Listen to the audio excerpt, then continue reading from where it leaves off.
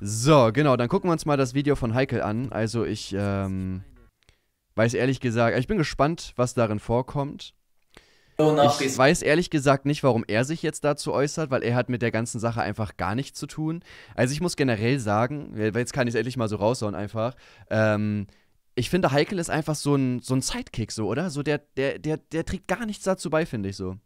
Der ist irgendwie so unnötig, so. Der, der rennt irgendwie so ABK hinterher so, und das war's. Ihr müsst euch mal diese Szene angucken, wo ABK reingegangen ist zu Unge Stream, wo er ihm diese Reise nach Japan geschenkt hat. So, Heike stand wirklich so daneben so und wusste gar nicht so, was, was soll er jetzt machen. So, weißt du, der war so komplett fehl am Platz. Aber Hauptsache sich mal reingesneakt. Und, äh, ja, man muss ja auch sagen, also er hängt ja mit ABK rum, der wird mega gehypt und hat trotzdem nur 158.000 Abos. Also es interessiert sich halt auch keiner für ihn. So, Digga, rede nicht, Mann. Junge, Junge. Okay, jetzt gucken wir aber mal, was er äh, hier zu sagen hat in dem Video. Was geht ab? In diesem Video geht es um Kuchen TV. Der hat ein Video gegen ABK gemacht, weil der spenden wollte für seine Festplatte. Und wisst ihr, Ist ja auch falsch. Ich habe ja kein, ich habe ja so gesehen kein Video gegen ihn gemacht. So, ich habe sogar gesagt, dass er seine Fans sich abzieht, aber Schuld naja. Ich? Wer sonst? Ich bin dreckig, ich bin der Teufel. Ich habe doch bei Kuchen TV kommentiert und meinte zu ihm, kannst du nicht ein Video zu ABK machen? Der hat darauf geantwortet und hat seinen Kommentar auch Ach so, ja, ich habe den Kommentar übrigens gelöscht, weil ich habe das falsch gelesen. Warte, was wollte ich sagen? Ach so, ja, genau. Ähm, ich habe erst, also das habe ich ja auch schon, wann habe ich denn das gesagt? In der, in der Reaction, glaube ich, zu diesem Hate-Ding habe ich euch das gezeigt. Das könnt ihr auch auf diesem Kanal sehen. Ich dachte erst, dass, dass die Firma fake ist, weil es gibt zwei Firmen, die genauso heißen. Also der einzige Unterschied ist so ein S. So, und ich dachte halt, oder ich bin zu dem Zeitpunkt davon ausgegangen, dass er die andere Firma gemeint hat weil man die auch nicht gefunden hat. Ne? Wir, haben das, wir haben ja geschaut, wir haben ja bei Google geguckt. Also äh, sucht einfach mal nach dieser Firma, die ABK angeschrieben hat. Äh, ihr habt ja die Kontakt-E-Mail, so ihr müsst ja nur die E-Mail da eingeben. Findet man nicht, Digga. Und deswegen dachte ich, dass das Ganze sowieso gefaked ist, ist es aber gar nicht. Und dann ist mir aufgefallen, ja, okay, Bruder, ne, die Firma geht's doch. Glück gehabt. Sein Kommentar auch wieder schnell gelöscht. Guck mal bitte selber. Das hier ist das M wie Ring. Der Arme versucht gerade sein Abitur nachzuholen. Das Thema über die Festplatte ging eine Minute. Kuchen TV macht darüber eine Cake News. Deine nächste Festplatte, Bruder, repariere ich dir für 2000 Euro, okay? Also ich lasse sie reparieren, aber ich mache ja trotzdem Plus. Die einfach über vier Minuten geht. Das Video ging über das Schulsystem und er macht ein Video über die Festplatte. Kuchen TV hat mir gestern eine Nachricht. Hä? Ja und? also, sorry, ich, ich verstehe den Punkt halt irgendwie gerade nicht. So, also ich meine, ich bin ja, ich bin ja sehr tiefergehend darauf eingegangen. Ich habe ja sogar gesagt, dass ich ja auch nachrecherchiert habe, so und dass ich halt Leute angerufen habe und ich will ja auch Wissen vermitteln und wollte den Leuten sagen, wie die Preise für eine Datenrettung zustande kommen. So, hä? So darf man darüber dann nur 10 Sekunden reden oder was? Ach du meine Güte, ey. Geschickt. Er hat mir Junge, geschrieben, Junge. bring morgen ein wie Gorgonson alle verarscht Video. Vielleicht kannst du ja drauf reacten. Dann was hast du bei Montana Black gelutscht, damit er eine Reaction über dich macht und jetzt fängst du mit ABK an. Im Video. Digga. Hä? Digga, dieser Typ, ne? Das ist halt genau das, was ich meine. Du merkst einfach von Anfang an, dass dieser Typ dieses Video nicht macht, weil er dahinter steht, sondern weil er den Schwanz von ABK im Mund hat. So, also, ich meine, ich gebe ja auch offen zu, dass ich Montana Black da einmal gefragt habe. So, ich meine, warum nicht? Ich habe ein Video gemacht, was ich persönlich für mich mega krass fand und das hat mich ja auch gut gepusht und wollte halt, dass das mehr Reichweite kriegt. So, als wenn das jetzt irgendwas Negatives wäre, mal nachzufragen, wenn man Kontakt hat. So, ich meine, ich bin jetzt mit Monte nicht befreundet oder so, ne? Aber er hat ja auch schon öfter gesagt, dass er meine Videos gerne guckt. Da ist es doch nicht schlimm, mal nachzufragen, ob der auf mein Video reacten kann. Digga, hä? Video sagt er, dass er sich freuen würde, wenn man ihm dafür das Geld spendet und hat natürlich auch seinen Tipeee-Stream-Link ganz oben in die Beschreibung getan. Ich verstehe jetzt nicht, wo soll er denn sonst seinen Spendelink reintun? Soll er ihn in seinem Schuh verstecken? Natürlich muss der nach ganz oben, damit die Leute, die auch spenden wollen, ihn direkt sehen. Hä? Das ist so eine dumme Aussage. Erstmal ist er... Digga, das war nicht mal ein Front. Das war einfach nur die Information. Er hat darüber geredet und hat dann den Tipeee-Stream-Link in die Beschreibung getan. Also, also es ist doch, es ist doch nichts falsch an meiner Aussage gewesen, oder doch? Junge, geil. Oh Mann. Ein Großteil seiner Zuschauer uh. wahrscheinlich relativ jung. Natürlich hat man junge Zuschauer auf YouTube. Das ist doch kein Pornoportal. Und selbst da sind die Zuschauer eben. Es ist doch einfach keiner gezwungen, dafür zu spenden. Aber Kinder sind natürlich leichter zu beeinflussen und gerade wenn er am Anfang des Videos noch von meiner Army spricht, dann fühlen sich die Kids natürlich angesprochen. Dass jemand sagt, meine Army. Wie soll er denn sonst seine Zuschauer nennen? Der Arme ist jetzt auch noch Psychologe geworden. Du hast gegen die Mutter deines Kindes Videos gemacht. Naja, es ist ja halt einfach Fakt, dass ähm, es ist ja halt einfach Fakt, dass wenn du halt Leute ansprichst und sie quasi in einer, also quasi so ansprichst, dass sie halt zu einer Gruppe dazugehören, dass sie viel leichter zu dass sie viel leichter zu beeinflussen sind oder viel eher das machen, was du halt möchtest. So, wenn ihr zum Beispiel, keine Ahnung, ihr habt jetzt eine Gruppe von Menschen so und ihr sagt, weiß ich nicht, was kann man da, was kann man da als Beispiel nehmen? Keine Ahnung, ihr seid, äh, keine Ahnung, ich, ich treffe jetzt Zuschauer von mir so, ne? Und ich sage einfach sofort, was ich will, dann würden wahrscheinlich mehr Leute Nein sagen, als wenn ich vorher sage, yo, ey, ne, meine Freunde, was geht, Alter, ich feiere euch mega, alles fit im Schritt so. Ne, die, die Leute sind dann einfach, also das Selbstwertgefühl der Leute steigt einfach, weil sie halt merken, okay, ich gehöre dazu, ich bin ein Teil von etwas Großem. So, und deswegen spenden die dann halt eher. Das ist doch überhaupt nicht falsch. Und redest jetzt aus psychologischer Sicht. Darüber hinaus hat er zwar das. Vor allem, hä, was hat das eine mit dem anderen zu tun? Ah, du hast mal ein Video über Gina gemacht und, das, und, und jetzt will er mir einen vom Psychologen erklären. So, hä, das eine hat mit dem anderen so gar nichts zu tun, Bro. oh Mann, ich glaube, ich mache einen Kuchen Talks über den. Sorry, das muss ich mir mal kurz aufschreiben, Mann. Das ist ja so geil. Weißt du, das, das ist genau das, was ich meine. Jetzt kommt wieder dieses, äh, dieses Kaffee und Kuchen mit im später, weil das Video wieder wichtiger ist, ey. Doch mein Stift schreibt wieder nicht. So. Es ist ja jetzt schon. Wir haben eine Minute 44 geguckt und das ist ja so grenzdebil dumm. Das sind ja kostenlose Klicks, die nehme ich mit, Alter. Bruder, ich als Psychologe bin da natürlich sofort drin. Das Geld, um gefühlt 20 Mal im Jahr in den Urlaub zu fliegen. Aber Geld für eine kaputte Festplatte, das soll ihn dann plötzlich. Ich darf nicht auf YouTube streamen und Twitch ist geiler. Zuschauer finanzieren oder was? Ich fliege jedes Mal mit ihm in den Urlaub. Aber was machen wir da? Wir produzieren dort Videos. Jeder hat doch anderen Content. Nur weil du die ganze Zeit zu Hause sitzt und von dort aus Videos machst, deshalb sind doch deine Videos langweilig. Die Videos, die auf der Festplatte waren, sind ja Videos aus China. Die hat ja, ich finde es sehr lustig, weil dass er sagt, dass meine Videos langweilig sind. Ich meine, wenn man sich immer so anguckt, für, also für ihn interessiert sich halt wirklich absolut niemand so. Ich weiß nicht, ob er sich halt rausnehmen kann, das zu sagen. Vor allem, ich weiß auch, so was, ja, was, was soll der Front so? Okay, du feierst meine Videos nicht. Also ich meine, du bist ja so, du bist sowieso nicht objektiv. So, du sagst das sowieso, weil du mich nicht magst. So, ich wette, selbst wenn ich ein geiles Video machen würde, würdest du dich hinstellen und sagen, das hat mir aber nicht gefallen, das war komplett kacke. Oh, ich bin heikel. Oh. Der auch produziert für YouTube. Und deshalb hat er sich gedacht, okay, vielleicht kann ich ein wenig Unterstützung kriegen, da sowieso das meiste bei ihm Geld ist. Ich finde halt nur die Art. Ja, auch da wieder ist halt das Ding. Ähm, natürlich macht er halt den Content, wenn er dahin fliegt, das ist natürlich klar. Aber ich sag mal, es ist trotzdem dumm, wenn du wirklich dein komplettes Geld, also so kam es ja mir zumindest drüber halt, ne, für Reisen und so weiter ausgibst aber dann, wenn halt mal wirklich was Wichtiges kommt für dein Content, dann sind, müssen auf einmal die Zuschauer das bezahlen. So, das erschließt sich mir halt einfach nicht ganz. Art nicht cool. Wenn du auf sowas Bock hast, dann mach den Stream an, hau einen Spendenziel rein, versuch den nicht so krass zu beeinflussen, dann ist auch alles cool. Als ob es das besser macht, dass du Spenden bei Twitch sammelst. Hä, ob bei Twitch oder über YouTube nach Spenden zu fragen, da ist doch überhaupt kein Unterschied. Spenden sind Spenden. Also Stimmt, Alter. Ja, er selber dreht halt Videos zu Hause, warte, ich schreibe mal hin. Heikel? Deine Videos sind langweilig, weil du zu Hause bist. Meme dreht im Kinderzimmer. Geil, Alter. Ja, man, push den Kommentar hoch. Ich will da mindestens 500 Likes sehen. Hätten diese Spenden mehr Wert als die anderen. Ich habe selbst. Ich sehe halt den Unterschied darin, zum Beispiel, wenn ich jetzt hier streame und ich schreibe da zum Beispiel hin halt, jetzt steht da halt für Noah, ne, da stand ja auch früher mal irgendwie Anwaltskosten oder so. Ähm, dann finde ich das halt aus dem Aspekt besser, dass man halt nicht dazu aufruft, das Ganze zu machen, sondern wenn ihr den Stream guckt, natürlich, das fällt so ein bisschen ins Auge, so. Ihr seht, okay, für Noah, ja, es ist eh, für Noah wird jetzt eigentlich auch kein Geld gesammelt, das geht schon alles in meine Tasche. Oder gut, ich meine, ich gebe ja Geld für Noah aus, theoretisch spendet ihr dann schon für Noah. Es ist schwierig zu erklären, so, ne? Ähm, aber der Unterschied ist halt, dass man jetzt zum Beispiel auf Twitch halt nicht dazu aufruft, ne? Zum Beispiel guckt ihr halt Unge an, der streamt ja auch und kriegt mega viele Spenden, aber der sagt ja nicht, jo, spendet mal, sondern das machen die Leute, weil sie ihn einfach an sich supporten möchten, so. Und ich finde es einfach so ein bisschen widerlich, dass du halt, ja, du bist ja selbstständig, du arbeitest ja insofern und dann willst du halt trotzdem, dass die Kinder dir gewisse Sachen bezahlen. Das ist so das, was mich daran halt einfach stört. Ich finde es nicht verwerflich, dass er generell den Spendenlink hat zum Beispiel, auch wenn er nicht streamt, den kann er von mir aus auch unter jedem Video posten. Was ich aber kacke finde, ist die Tatsache, dass, man sieht es ja auch an den Leuten, die mich angeschrieben haben, so, das sind halt zwölfjährige Kinder, ja. Ähm, das sind ja zwölfjährige Kinder so und die fühlen sich ja in dieser Army dann halt so bestätigt so, ne? Die denken, ja, ich bin Teil von was Großem so, ne? Ihr seht es ja auch bei den Nachrichten so, die beleidigen halt mich, aber sagen dann auch direkt immer ABK Army so. Das heißt, diese Zugehörigkeit ist für diese Leute halt wichtig, weil die nichts anderes im Leben haben. Das ist nicht mal böse gemeint, aber es ist halt einfach so.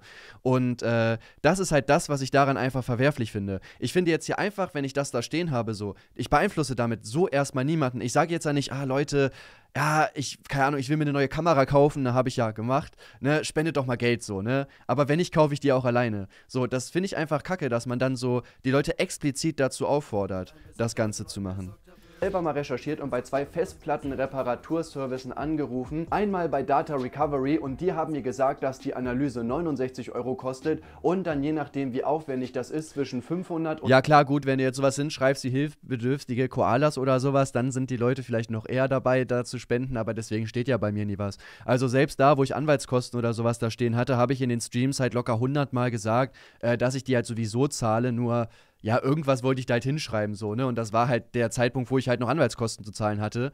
Und dann habe ich das halt einfach hingeschrieben, so. Ne? Ich habe ja nie gesagt, ja, also, ne, es wäre cool, wenn ihr mir Geld gebt. Ja. Und 1500 Euro. So kennt ihr das, wenn ihr noch, wenn ihr am Ende des Satzes seid, aber ihr habt noch nicht so diese, diese Tonhöhe dafür, sondern es klingt so, als ob es noch weitergeht und da musst du noch irgendwas sagen, damit es passt. Einfach so, ja, ja, das war's, ja. Euro. Datenrettung in Braunschweig hat mir ungefähr den gleichen Preis durchgegeben. Du tust auch so mit den 1500 Euro, als wäre es irgendwie der Mittelwert. Ey, es gibt so Nein, viele Firmen in Deutschland. Du hast bei zwei angerufen und stellst das so da, ja, überall kostet das gleich viel. Und natürlich werden die dich ja auch mit einem günstigen Preis erstmal locken, ne? Bevor es hinterher heißt, ja, das, das und das musste gemacht werden. Und das ja, nee, die locken ja eben gar nicht, sondern die hat gesagt, die Preisspanne liegt zwischen 500 und 1500 Euro. Also ich glaube, der Typ hat das Video einfach gar nicht gesehen. Also ich meine, guck dir, da, also ich meine, der fügt es halt in seinem Video ein, aber offensichtlich hat er es gar nicht verstanden, was ich da gesagt habe. Und das check ich halt irgendwo einfach wieder nicht. So, weißt du, das Ding ist, so eine, also gerade die Festplatte ist ja vom Tisch gefallen oder so, nehme ich mal an. Da entstehen meistens, wenn das eine ganz normale HDD ist, auch gar nicht so krasse Schäden tatsächlich. So, und das Ding ist, es gibt auch dazu noch so eine, ähm, äh, so eine Reportage von STRGF, ja, die würde ich ABK auf jeden Fall empfehlen. Gerade in dieser Datenrettungsbranche, sag ich mal, gibt es halt mega viele Abzocker. Das ist halt genau das gleiche wie mit Schlüsseldiensten, so. Das ist halt die Not der Menschen, so, ne? Ich meine, wie viele Leute kennen sich mit Festplatten aus?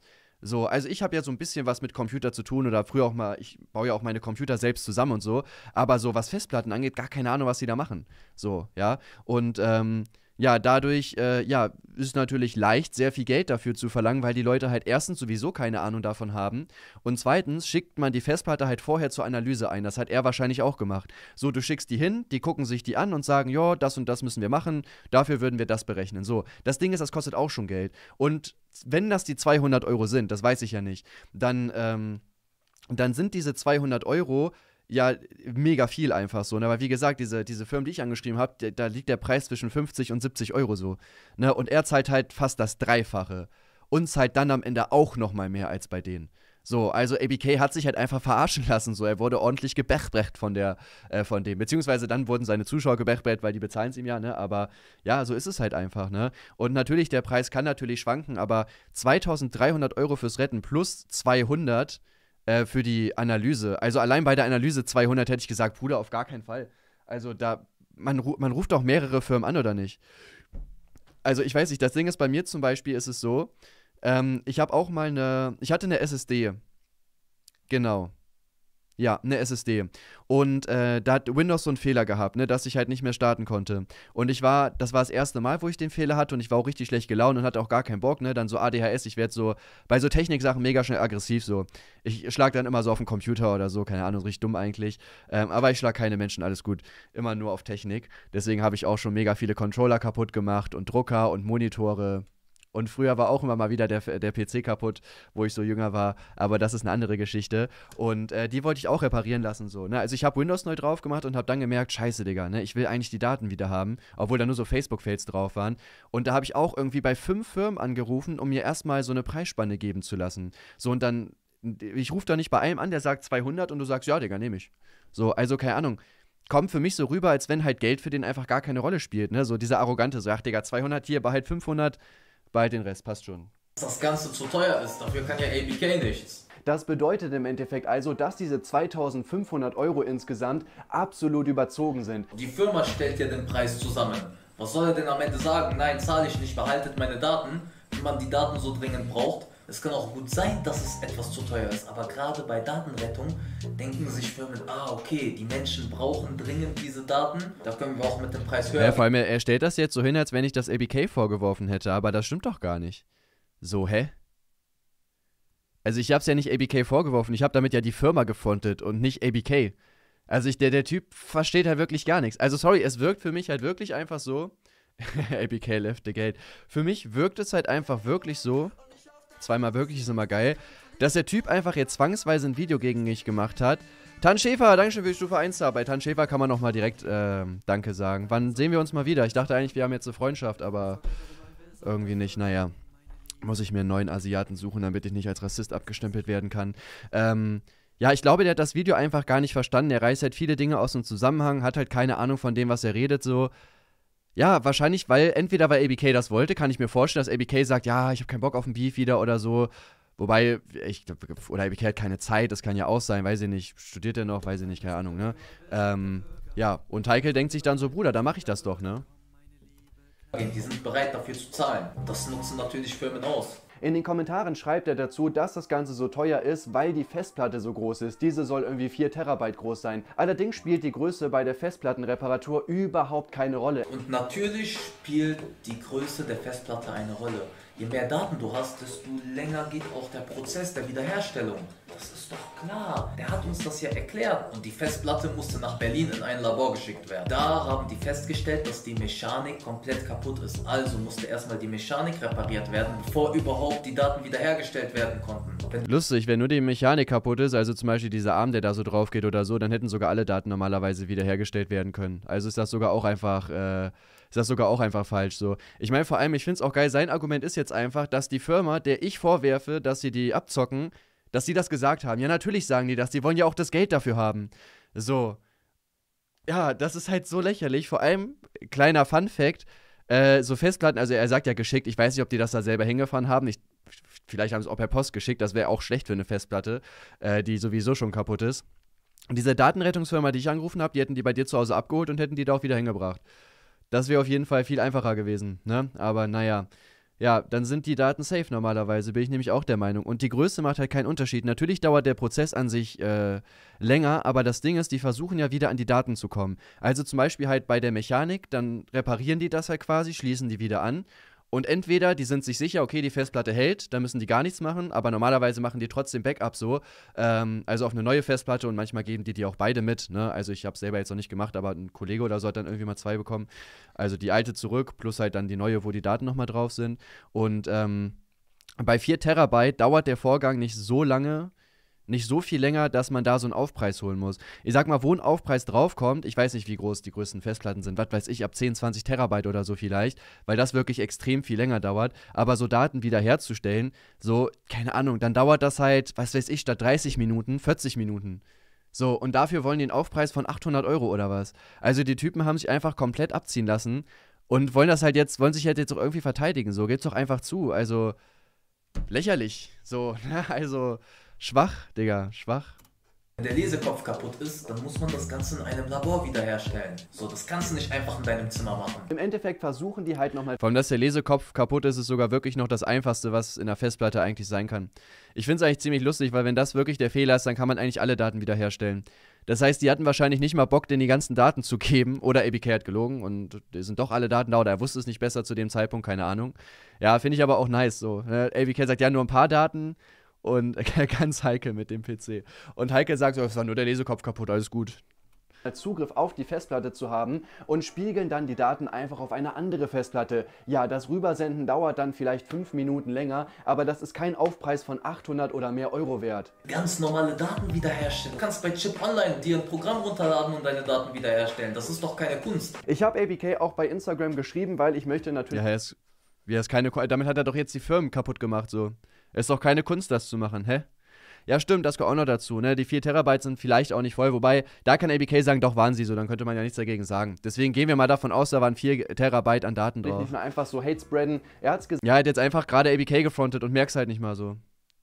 Keine Ahnung, was soll man dazu sagen? Den allerdings nicht drauf geantwortet. Ja, Digga, mehr kann ich halt auch nicht machen, außer dir die Hand zu reichen. Das ist richtig cringe. Du redest über Handreichen, als wärst du der Bundeskanzler von YouTube. Komm, ABK, komm bitte, nimm meine Hand. Ich kann dir helfen. Ich muss kein Video über dich machen.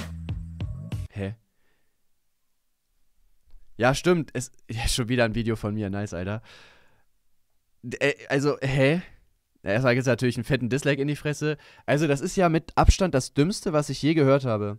Also, ich gebe ihm ja nicht die Hand im Sinne von, ja, Digga, ich könnte dich jetzt halt zerstören, ne? Oder du redest mit mir.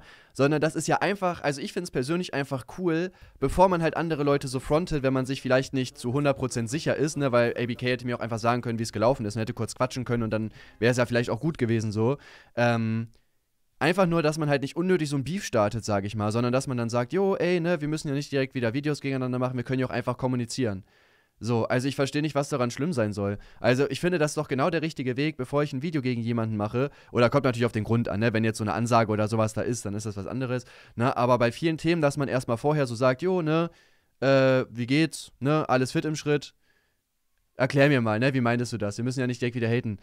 Das, weißt du, es ist lustig, dass man will halt die, die, äh, die Kommunika den Kommunikationsweg gehen und Leute sagen dann trotzdem, ja, richtig peinlich, was du gemacht hast. Check ich halt nicht, ey. Oh, nice. Ah, gut, ich bin bei mir immer Dings, ne? Tja. Ja, dazu wird safe Kuchen Talks kommen, Alter. Also die Vorlage ist ja wirklich einfach perfekt so, ne? Muss man einfach sagen. Das ist krass, ne? Tja, okay, dann haben wir das auch.